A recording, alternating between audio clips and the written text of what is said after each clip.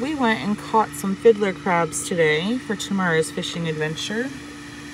These are also known as sheepshead candy.